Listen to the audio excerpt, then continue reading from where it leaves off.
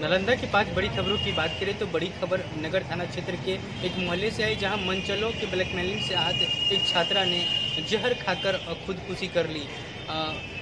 Police जहर खाने के बाद परिजन द्वारा उनसे आनंद आनंद बिहार शरीफ सदर अस्पताल में भर्ती कराया गया जहाँ इलाज के दौरान हायर सेंटर रे, रेफर किया गया था। हायर सेंटर ले जाने के दौरान बीच रास्ते में ही छात्रा ने दम तोड़ दिया। बताया जाता है कि छात्रा जब स्कूल पढ़ने जा रही थी उसी दौरान उससे दो लड़कों ने दोस्ती कर ली और दोस्ती करने के बाद उसका अश्लील वीडियो बना लिया।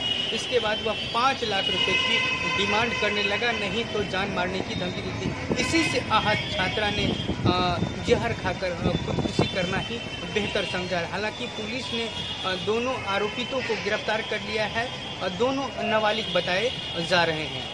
वहीं दूसरी खबर की बात करें तो हत्यारे पति को कोर्ट ने उम्र कैद की सज़ा सुनाई है। बताया जाता है कि पहली पत्नी के रहते हुए दूसरी महिला से आरोपी ने संबंध बनाया था। इसी का यह विरोध करती थी। इसी विरोध के कारण जो है, उसकी हत्या की गई थी। इसी मामले में आज बिहार शरीफ कोर्ट के एडीजे सिक्स आशुतोष कुमार ने पति को उम्र कैद और दस हज़ार रुपये का जुर्माना की सज़ा सुनाई है।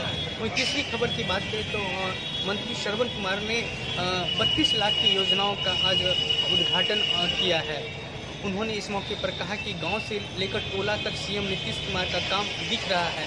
सात निश्चय योजना के धरातल पर उतरने पर अब गाँव भी स्मार्ट दिखने लगा है। शिक्षा क्षेत्र में भी काफ़ी सुधार हुआ है अ, ताकि लोग आज यहाँ से भी निकल करके दूर देशों तक जा रहे हैं।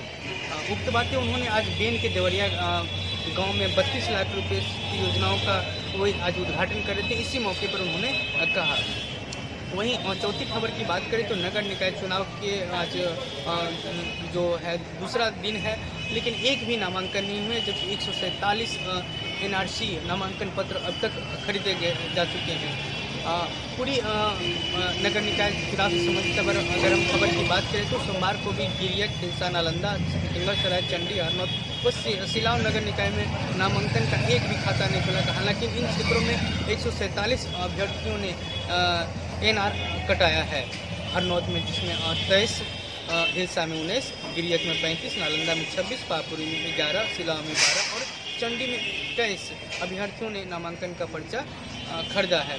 वहीं हम पाँचवीं बड़ी खबर की बात करें तो आज जिस तरह शहर में राजगीर और समेत अन्य जगहों पर डेंगू ने अपना पैर पसारा है, इसको लेकर के जिला प्रशासन द्वारा कई दिशा निर्देश दिए जा रहे हैं। इसी कड़ी में जिलाधिकारी के निर्देश पर बिहार सिविल अस्पताल में एक स्पेशल दस वार्ड का डेंगू वार्ड बनाया गया है जिसका निरीक्षण सिविल सर्जन द्वारा किया गया। हालाँकि वहाँ की गंदगी देख करके उन्होंने अधिकारियों को जमकर बिखरे और उन्होंने कहा कि बिना साफ़ सफ़ाई हम डेंगू पर कब्जा नहीं पा सकेंगे।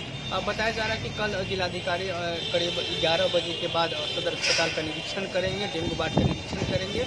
और जहाँ जल जमाव की स्थिति, वहाँ गंबूसिया मछली उसमें डाला जाएगा ताकि जो है लार्वा का ही नहीं हो सका। जिलाधिकारी ने भी लोगों से अपील किया है कि वो घरों में दिन में भी रहें तो मच्छरदानी का प्रयोग करें अगल बगल साफ़ सफ़ाई रखें, ब्लीचिंग पाउडर का छिड़काव करें। जहाँ भी गंदगी दिखे, उसे गंदगी ना रहने दें जल जमाव से पूरी तरह लोगों को जागरूक करने का उन्होंने अपील किया है। कैमरा पर्सन सौरभ के साथ प्रणय कुमार एनबीटी ऑनलाइन, बिहार से।